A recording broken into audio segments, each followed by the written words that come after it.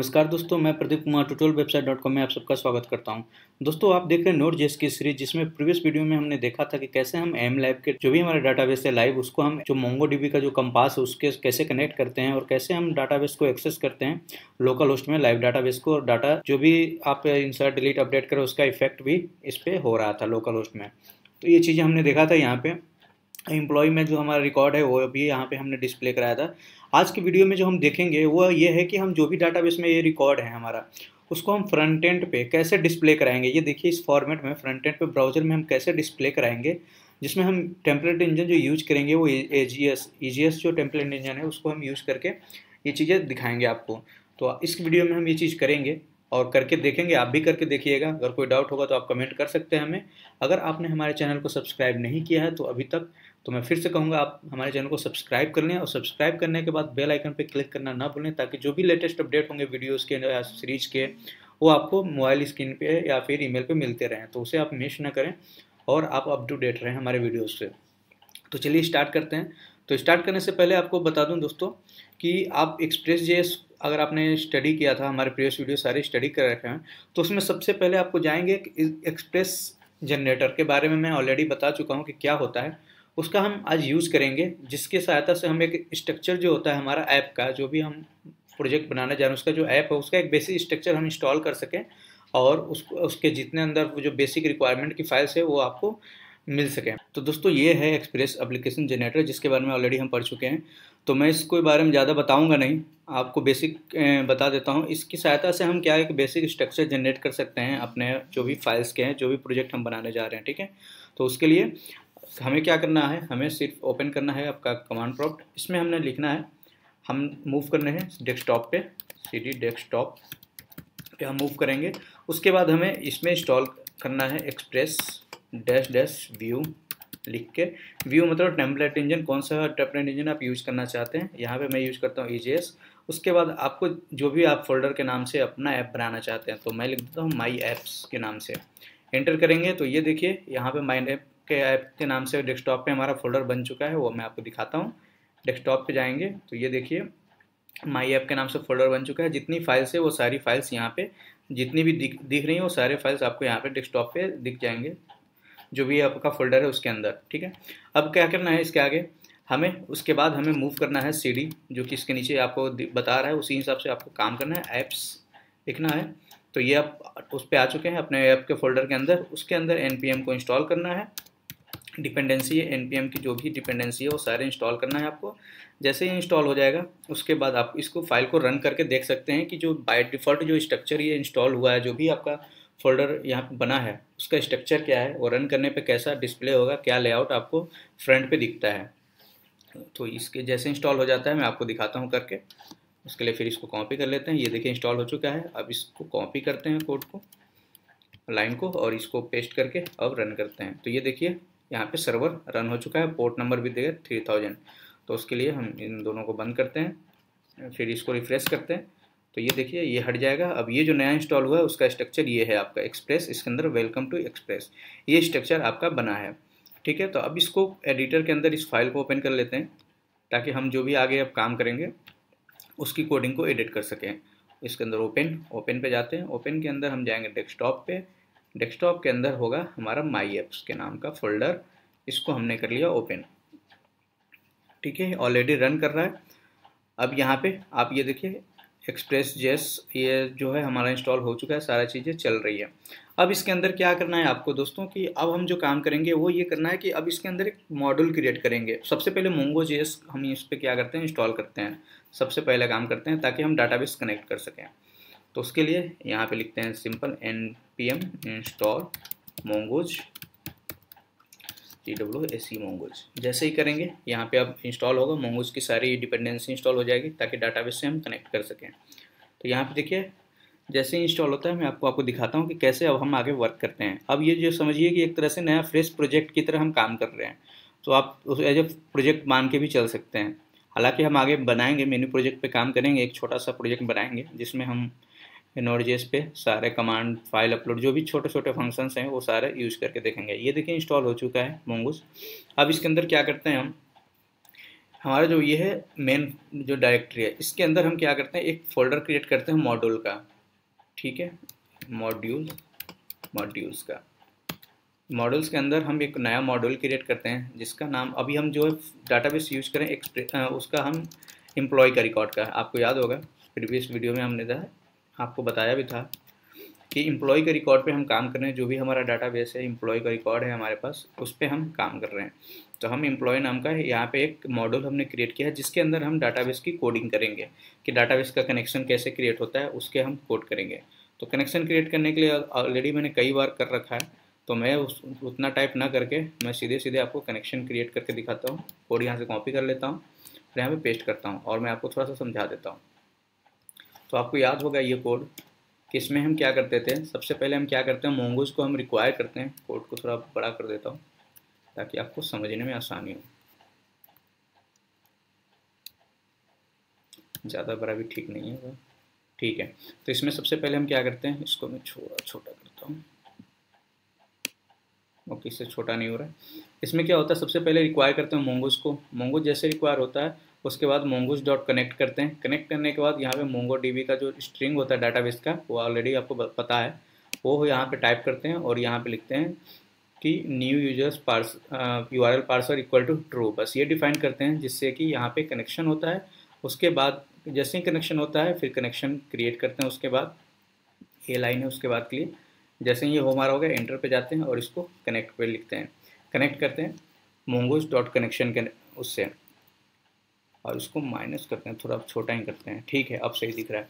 तो mongoose dot connection करके हम एक कनेक्शन यहाँ पे एक वेरिएबल बना लेते हैं, जिसके अंदर हमारा कनेक्शन स्टोर हो गया एक तरह से। अब आगे जो भी प्रोसेस करेंगे, इस कनेक्शन ऑब्जेक्ट के साथ हम वर्क करेंगे। ठीक है, हमें बार बार हर चीज़ को नहीं करेंगे अब इसके बाद करते हैं, हम जो भी हमने स्कीमा बनाया था, जो कि हमारा एम्प्लॉय का था, जैसे नेम हो गया था सैलरी थी, ये सारी चीज़ें, वो स्कीमा यहाँ पे हम डिफ़ाइन करेंगे फिर से। ताकि हम उस स्कीमा को हम एक्सपोर्ट कर सकें किसी भी फ़ाइल के अंदर। तो हम उसको एम्प्लॉय डॉट जे मॉड्यूल है, इसके अंदर ही लिख लेते हैं। तो ये रहा उसका स्कीमा का और मॉड्यूल दोनों मॉडल और स्कीमा दोनों हम यहाँ पे टाइप करते हैं, आपको दिखाते हैं। ये हमारा स्कीमा है, जिसके अंदर एम्प्लॉय का स्कीमा बनाया था हमने, आपको याद होगा।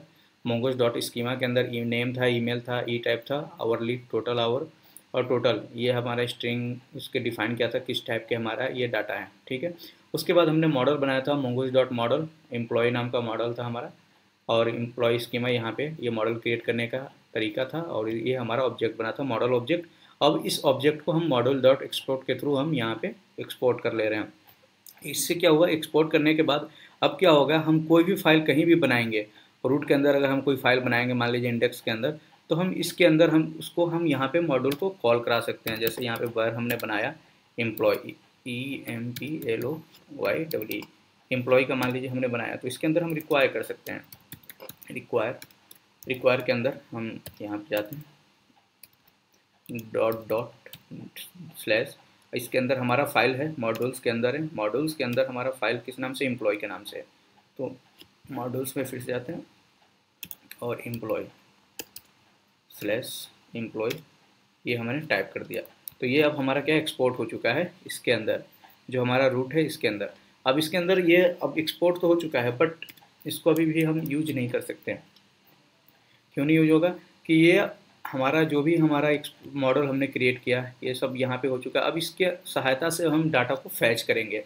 तो डाटा फैच करने के लिए हम जो है कोड लिखना पड़ता है नॉर्मल सा कोड है, जिसको कि हम यूज़ करके आपको याद होगा कि जब हम नॉर्मल कोडिंग कर रहे थे आ, मतलब सी एल आई पे कमांड प्रॉम्प्ट पे जो हम कोड कर रहे थे आपको याद होगा कि डाटा फाइट करने के लिए फाइंड फ़ंक्शन का यूज़ करते हैं। आपको याद होगा कि जो भी हमारा यहाँ पे डाटाबेस का नाम होता है स्लेस हम फाइंड का फ़ंक्शन का यूज़ करके हम डाटा को यहाँ पे यूज़ क्रिएट करते हैं। तो उसके लिए सबसे पहले हमने यहाँ पे ऑब्जेक्ट तो बना ही लिखा है एम्प्लॉय का या ई e मॉडल का एम्प्लॉय मॉडल कर देते हैं इसको ई e मॉडल ताकि समझने में आसानी हो। ई e मॉडल के नाम से हमने यहाँ पे कर लिया। अब इसके अंदर क्या है? एक और वेरिएबल यहाँ पे डिफाइन करते हैं। वेरिएबल इक्वल टू अब इसको नाम देते हैं एम्प्लॉय ठीक है? एम्प्लॉय अब इसके अं-, अंदर अब क्या करते हैं? ई एम पी मॉडल को डॉट फाइंड का फाइंड फ़ंक्शन याद है आपको? फाइंड फ़ंक्शन का यूज़ करते हैं ताकि हम डाटा को गेट कर सकें और करली ब्रेसेस का यूज़ करते हैं ताकि सारा का सारा डाटा हमें यहाँ पे मिल सके। ठीक है? अब इसके अंदर इसको पहले और बाद में हम यहाँ पे छोटा ब्रैकेट यूज़ करेंगे। ये, अब इसके बाद ये। तो ये क्या होगा? ये फ़ंक्शन क्या करेगा?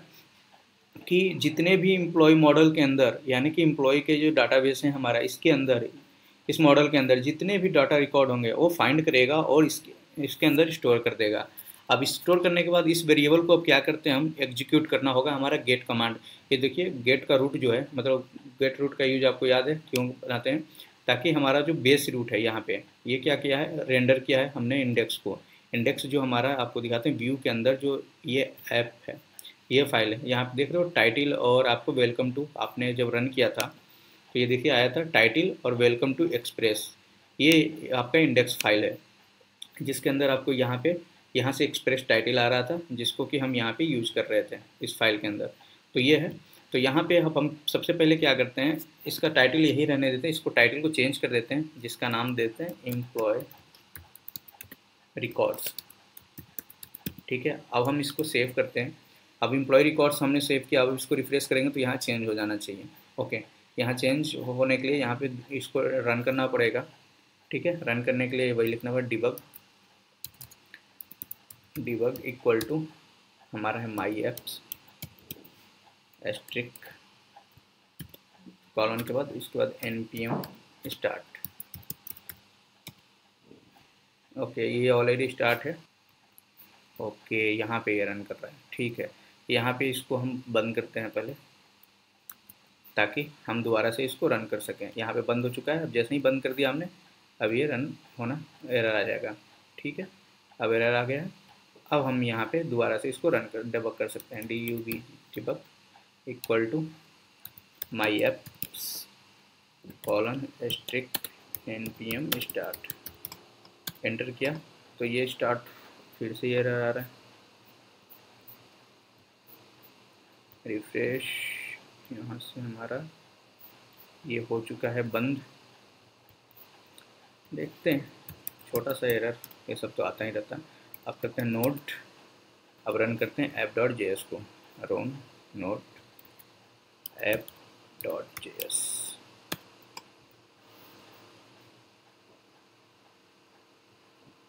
एम्प्लॉय क्या है? Employ find is not a function find okay इसकी बात कर रहा है। इट्स नॉट अ फ़ंक्शन हमने कहाँ लगाया? यहाँ पे। ये। एम्प्लॉय मॉडल डॉट ये एरर आ रहा है। क्योंकि अभी हमारा पूरा रन कोड नहीं किया। ठीक है, इसको क्लियर करते हैं। पहले इस कोड को पूरा कर लेते हैं, उसके बाद हम आगे बात करते हैं। ठीक है। सेव किया हमने इसको कमांड को हम क्या करते हैं? कमेंट करते हैं सेव करते हैं। अब ये रन कर रहा है, नहीं कर रहा है।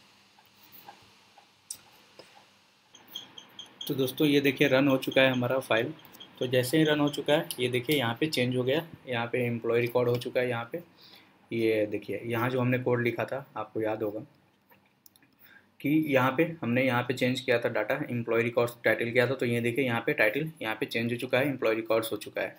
अब इसमें क्या करना है हमें? इसके आगे अब क्या करते हैं हम यहाँ पे? कि अब यहाँ पे हम लिखते हैं कि जो भी हमारा यहाँ पे अब राउट हम क्रिएट कर रहे हैं इंडेक्स के अंदर, अब इसको हम रन करते हैं सेव करते हैं। अब यहाँ पे हम एग्जीक्यूट करते हैं इस फ़ाइल को। जो भी हमारा कमांड है रफ डाटा फैच करने का। तो अब इसके आगे क्या करते हैं? यहाँ पे हमने इम्प्लॉय का जो मॉडल है, ये आपको यहाँ पे हमने ये कर लिया था। अब यहाँ हमारा आप करते हैं मेन इंडेक्स के अंदर। हम क्या करते हैं? सबसे पहले इम्प्लॉय को एग्जीक्यूट करते हैं।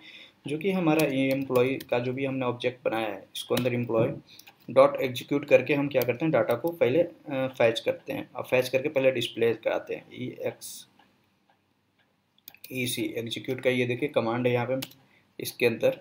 अब इसके अंदर हम बनाते हैं, एक फ़ंक्शन लेते हैं। फ़ंक्शन के अंदर हमारा क्या होता है?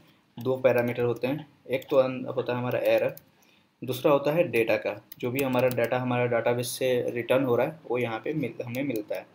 ठीक है? उसके बाद ये हम यहाँ पे बंद करते हैं। अब इसके अंदर हम क्या चेक करते हैं कि अगर कोई एरर है इफ़ एरर अगर इसके अंदर कोई एरर है तो हमें मिले। और एरर मिलता है तो हमें थ्रो करेंगे एरर को। Throw error E double R जो भी हमारा है थ्रो एच आर डब्ल्यू ठीक है। उसके बाद एंटर करते हैं। अब यहाँ, इसके बाद अब हम क्या करते हैं, ये देखिए रेंडर हो ही रहा है इंडेक्स को, अब इस वैल्यू को, इसके अंदर एक वेरिएबल रो के अंदर रोज या डाटा जो भी आप कहिए डाटाज के अंदर D A D A data datas कर देते हैं, या रिकॉर्ड्स जो भी है। रिकॉर्ड्स जो सुटेबल लग रहा है रिकॉर्ड्स इक्वल टू जो कि हमारा डेटा है। जितने भी डाटा हमारा जो भी यहाँ पे डाटा मिला, इसको हमने यहाँ पे लिख लिया। अब ये डाटा क्या है? डाटा ये है जो कि यहाँ से रिटर्न हो रहा है हमें, ठीक है? और अब इसको, इस रेंडर वाले को, ये जो है, इसको कॉपी करते हैं यहाँ से। अब इसको पेस्ट कर देते हैं इसके अंदर, यहाँ से कट करते हैं और इसको पेस्ट कर देते हैं अब इसके अंदर। अब क्या होगा कि जैसे रूट जो मेन रूट है, वो कॉल होगा वहाँ पे ये एम्प्लॉय वाला जो हमारा फ़ंक्शन है फाइंड मेथड का, वो हमारा रन करेगा एग्जीक्यूट करेगा और जो भी उसके अंदर का डाटा है, जो भी हमारे डाटाबेस में डाटा है, वो मिलेगा और जो डाटा नाम के वेरिएबल में आ जाएगा हमें, मिल जाएगा। ऑब्जेक्ट में, और उस ऑब्जेक्ट के जो भी डाटा है, उसको हम क्या करते हैं रिकॉर्ड्स नाम के वेरिएबल के अंदर जेसन फॉर्मेट में जो हमारा रिकॉर्ड मतलब दूसरे पेज पे भेजने का जो तरीका है पास करने का, वो इस तरह से हम करते हैं। तो यहाँ पे हमने रिकॉर्ड्स नाम के एक वेरिएबल के अंदर पास कर दिया ऑब्जेक्ट के अंदर हमने पास कर दिया सारे डाटा को। अब इस डाटा को हम क्या करते हैं? पास तो हो चुका है। अब इस डाटा को हमें यहाँ पे कराना है डिस्प्ले तो डिस्प्ले कराने के लिए यहाँ पे टाइटल तो हो चुका है। अब यहाँ से पी को हटा के यहाँ पे एक टेबल फॉर्मेट बनाते हैं। तो टेबल फॉर्मेट बनाने से पहले इसके एस में थोड़ा सा क्या बूट स्ट्रेप की कोडिंग कर देते हैं। तो बूट स्ट्रेप के लिए मैंने यहाँ पे कोड लिखा हुआ है। सबसे पहले हम क्या करते हैं? ये बूट स्ट्रेप का जो लाइव कोड होता है सी एस एस या JavaScript C S S का जे एस का उसको यहाँ पे हम पेस्ट करते हैं, ठीक है? तो इससे क्या है बूट स्टेप का एक स्ट्रक्चर हमें मिल जाएगा तो हमारा जो लेआउट होगा वो डिस्प्ले कराने का जो तरीका वो डिस्प्ले जो होगा वो अच्छे तरीके से हो पाएगा। उसके बाद ये टेबल हेड यहाँ पे हम कॉपी करते हैं, क्योंकि हमारा जो भी डाटा का टेबल है, वही टेबल है हेड हो गया। अब यहाँ पे हम एक टी आर लेते हैं, ठीक है? टी आर के अंदर हमारा फिर हो जाएगा, यहाँ पे टेबल को करना है बंद। टेबल बंद हो गया। अब सेव करते हैं। अब सेव करने के बाद रिफ्रेश करते हैं यहाँ पे। तो ये देखिए एम्प्लॉय रिकॉर्ड ये टेबल का स्ट्रक्चर हमारा बन चुका है, जो कि स्ट्रक्चर हम यहाँ पे डिज़ाइन कर रहे थे, ठीक है? यहाँ पे। अब हमारा डाटा भी यहाँ पे पास हो चुका है। पास होने के बाद रिकॉर्ड्स के अंदर आ रहा है। तो अब रिकॉर्ड्स के अंदर यहाँ डाटा आ रहा है। अब यहाँ पे डाटा रिकॉर्ड्स के अंदर जो आ रहा है, उसको अब डिस्प्ले कराना है हमें। तो डिस्प्ले कराने के लिए वो डाटा एक एक तरीके से सही है कि ऑब्जेक्ट के रूप में एक एरे फॉर्मेट में ही हमें मिल रहा है। तो आपको अगर नहीं पता है ईजेएस में कैसे हम डिस्प्ले कराते हैं अपने एरे डाटा को, कैसे हम लूप के थ्रू मतलब एक तरह से लूप ही कर सकते हैं आप फॉर लूप जैसे हम नॉर्मल पीएचपी में यूज़ करते हैं, इसमें भी यूज़ करने का तरीका होता है। तो ये जो ब्रैकेट है ब्रैकेट के अंदर ये आपका मॉड्यूल का साइन यूज़ करते हैं और मॉड्यूल का साइन हम बंद करने के लिए यूज़ करते हैं। इस तरह से हम ओपन करते हैं और बंद करते हैं, जैसे पीएचपी टैग ओपन करते थे और बंद करते थे अब इसके अंदर हम लिखेंगे जो भी हमारा वेरिएबल जिस वेरिएबल में हमारा डाटा आ रहा है, उसको फॉर ईच के अंदर पास करेंगे।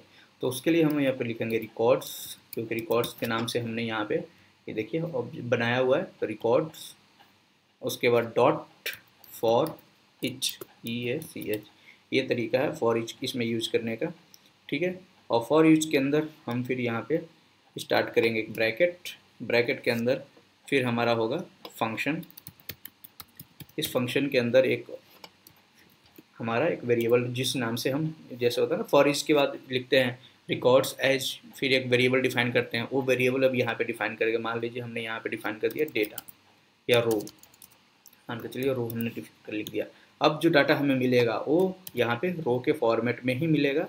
और जहाँ पे ये रो हमारा बन रहा है, यानी कि ये हम लिखेंगे टी आर से ऊपर, ताकि वन बाई वन रिकॉर्ड मिले यहाँ पे। इसके बाद लिख देते हैं। ताकि रो पूरा रिपीट होगा। जो रिपीट होने वाला होता है, उसके अंदर हम लिखते हैं। ठीक है? अब इसके अंदर लिख दिया। अब यहाँ पे सेम फिर लिखेंगे मॉड्यूल क्योंकि हमें बंद भी तो करना पड़ेगा। हमने स्टार्ट किया, ये बंद हुआ, अब इसके बाद ये बंद हुआ। ठीक है? ये दोनों बंद भी हो गए। अब यहाँ पे मॉड्यूल फिर से, और यहाँ पे इसको किया बंद। इसके बीच यहाँ पे, और इस पर स्पेस दे देते ये हो गया बंद।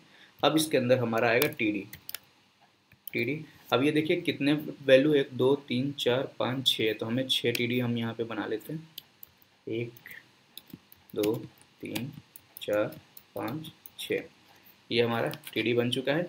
अब इसके अंदर डाटा हमें डिस्प्ले कराने का आपको तरीका ऑलरेडी यहाँ पे दिखा हुआ कैसे हम डाटा हम प्रिंट कर लेते हैं।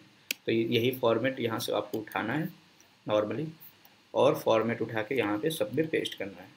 सिंपल सा। पेस्ट कर दीजिए। अब यहाँ पे, अब देखिए, सबसे पहले हमें नाम नाम चाहिए तो डाटाबेस में हम चलते हैं कि हम, हमने यहाँ पे क्या दिया है? नेम दिया है ईमेल दिया है ई टाइप दिया है।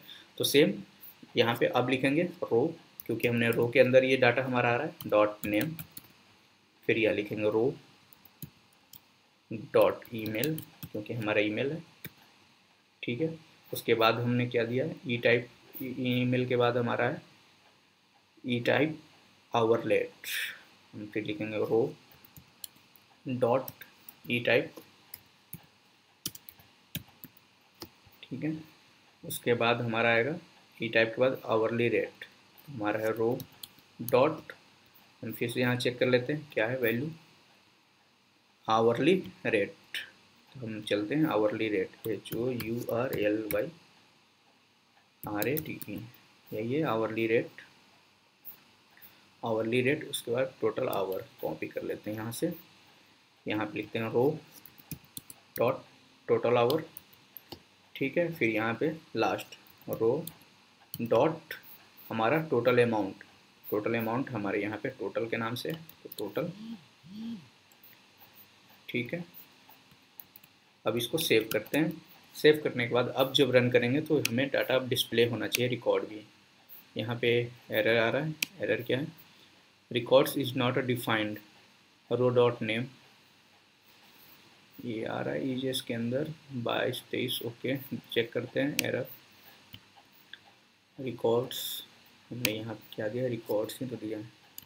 कॉपी करते हैं इसको एक बार। और यहाँ पे पेस्ट करते हैं। सेव करते हैं। रिफ्रेश करते हैं।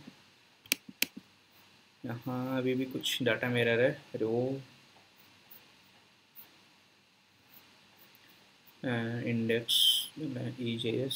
चौबीस twenty four twenty four records ठीक है इंडेक्स इसको सेव किया था, ये सेव हुआ है। इसको क्लोज करते हैं कनेक्शन को दोबारा से रन करते हैं फाइल्स को। क्योंकि हो सकता है कनेक्शन क्लोज करने के बाद और अपडेट ना हुआ, जो भी हमने यहाँ डाटा फेस किया है, वो अपडेट ना हुआ हो। तो अब दोबारा से डिवक करते हैं। डिवक इक्वल टू यहाँ पे लिखते हैं माई एप्स ठीक है asterisk N P M start ये दोबारा से हमारा स्टार्ट होगा कनेक्शन अब अब देखिए, शायद ये अब रन कर जाए। ये देखिए, वही कनेक्शन का था कि एक बार रन हो चुका था तो हमारा दोबारा से रन करना हो क्योंकि हमने नोटबुन तो यूज़ नहीं किया। बिना नोटबुन का काम किया था नोटबुन हम यूज़ करते तो शायद हमें ये दोबारा से बार बार ओपन क्लोज करने की ज़रूरत ना पड़ता। तो जैसे ही अब दोबारा क्लोज करके हमने ओपन किया, दोबारा से स्टार्ट किया तो ये देखिए हमारा सारा रिकॉर्ड यहाँ पे डिस्प्ले हो चुका है, जो भी हमारा डाटा है डाटाबेस के अंदर। अब इसके अंदर अगर कोई और डाटा इंसर्ट करेंगे तो वो भी यहाँ पे डिस्प्ले होगा।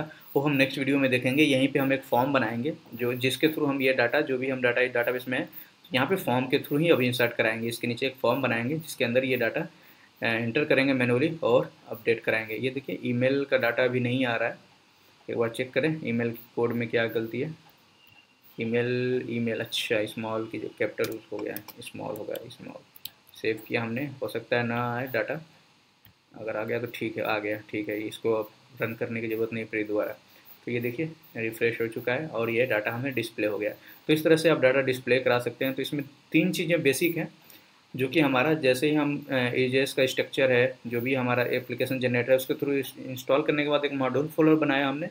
उसके अंदर एम्प्लॉय का एक फ़ाइल बनाया एम्प्लॉय डॉट जेएस का मॉड्यूल बनाया, जिसके अंदर हमने मोंगोज को रिक्वायर किया है कनेक्शन बनाया है। फिर कनेक्शन को यहाँ पे स्टार्ट किया है। इतना बेसिक है। उसके बाद अब दूसरा स्टेप है हमारा कि जो भी हमने स्कीमा बनाया था डाटाबेस में वैल्यू इंसर्ट कराने का एम्प्लॉय का, वो स्कीमा हमने यहाँ पे डिफाइन किया है और इस स्कीमा के बाद हमने उसको मॉडल बनाया है। मॉडल बनाने के बाद उस मॉडल ऑब्जेक्ट को हमने क्या किया? एक्सपोर्ट कर लिया है। ताकि इस एक कहते हैं कॉमन फ़ाइल बना के हम किसी भी इस मॉडल को अब कहीं भी यूज़ कर सकते हैं, किसी भी फ़ाइल में। तो इसके अंदर अब हमने मॉडल को हमने यहाँ पे कॉल किया है इंडेक्स फ़ाइल के अंदर, जो कि हमारा रूट फ़ाइल के अंदर है। रूट के अंदर जो इंडेक्स जैसे उसके अंदर हमने इस मॉडल को क्या क्या? रिक्वायर किया। उसके बाद इस मॉड्यूल को, इस जो हमने एक्सपोर्ट किया इस मॉडल को, इस मॉडल को जो एम्प्लॉय का मॉडल है, उसको हमने यहाँ पे कॉल किया और उस मॉडल को हम क्या करते हैं यहाँ पे ऑब्जेक्ट के अंदर लेने के बाद फाइंड फ़ंक्शन के थ्रू हम जो भी हमारा डाटा फैच करने का कोड होता है या जो भी फ़ंक्शन है फाइंड है फाइंड वंस है, वो हम यहाँ पे लिख सकते हैं फाइंड वंस भी लिख सकते हैं। इस तरह से हम यहाँ पे लिखे हमने और उसका ऑब्जेक्ट बनाया और ऑब्जेक्ट को हमने यहाँ पे एग्जीक्यूट करा दिया। तो ऑब्जेक्ट जैसे एग्जीक्यूट होगा, उसके अंदर जो भी एग्जीक्यूट होने के बाद जो रन होता है डाटा वो डाटा के अंदर दो पैरामीटर में मिलते हैं फ़ंक्शन के अंदर। उस फ़ंक्शन के अंदर दो पैरामीटर एरर आ गया तो एरर को हम थ्रो किए। नहीं तो अदरवाइज़ हमें जो डाटा है डाटाबेस में वो सारा डाटा मिला। उस डाटा को हमने रेंडर कर दिया इंडेक्स पेज के अंदर। आप इंडेक्स के अंदर कोई और भी पेज बना सकते हैं, जो व्यू के अंदर इंडेक्स है। इसके अंदर अबाउट पेज भी बना के यही सेम कोड यहाँ पर यूज़ कर सकते हैं आप। तो यहाँ पे इंडेक्स पेज है तो इंडेक्स के अंदर हमने टाइटल चेंज किया, जो कि हमारा एम्प्लॉय रिकॉर्ड्स के नाम से दिया, और उसके अंदर दूसरा ऑब्जेक्ट बनाया रिकॉर्ड्स का, जिसके अंदर हमारा जो भी डाटा आ रहा है डाटाबेस से, उसको पास कर दिया। और इस फ़ाइल डाटा को हम इंडेक्स व्यू के अंदर हम गेट कर रहे हैं। गेट करने के बाद हम टेबल बनाए। टेबल के अंदर हमने रिकॉर्ड्स को फॉर इच के साथ यहाँ पे बाइंड किया और बाइंड इन करने के बाद जैसे हम पीएचपी में रिकॉर्ड्स एज ए एरे के डाटा को हम डिस्प्ले कराते हैं लूप में फॉर इच के हेल्प से, उसी तरह हमने यहाँ पे किया है ई जे टेम्परेंट इंजन के अंदर। जो तरीका है, वो है रिकॉर्ड्स डॉट फॉर इच उसके अंदर एक फ़ंक्शन फ़ंक्शन के अंदर हमारा जो भी एक कहिए कि ऑब्जेक्ट हम मिलता है फ़ंक्शन के अंदर या फिर जो भी पैरामीटर पास करते हैं उस पैरामीटर को हम यूज़ करते हैं फॉर के जो भी रिकॉर्ड्स है, उसका वो पैरामीटर के साथ वन बाई वन यहाँ पे डिस्प्ले कराते हैं डाटा को। तो ये फॉर्मेट है डिस्प्ले कराने का। आई होप आपको ये वीडियो समझ में आया होगा, इसे सीखने को मिला होगा। अगर इसमें कोई डाउट है तो प्लीज़ कमेंट कीजिए। अगर ये वीडियो अच्छा लगा तो लाइक करें शेयर करें और चैनल को सब्सक्राइब नहीं किया तो प्लीज़ सब्सक्राइब करें ताकि जो भी आगे के अपडेट होंगे वो आपको मिलते रहें आपके मोबाइल स्क्रीन या ईमेल पे। आज के लिए यहीं रुकता हूँ। नेक्स्ट वीडियो में आपको दिखाऊँगा कि कैसे हम एक एच फॉर्म बनाएँगे यहाँ पे। फॉर्म बनाने के बाद इस फॉर्म के डाटा को, जो भी हमारे डाटाबेस में है लाइव हम डाटा यहीं से फ्रंट व्यू से इंसर्ट कराएँगे और वहाँ पर डिस्प्ले कराएँगे। आज के लिए यहीं रुकते हैं। नेक्स्ट वीडियो में नेक्स्ट टॉपिक भी डिस्कस करेंगे। तब तक के लिए बाय बाय टेक के अपना ख्याल रखें।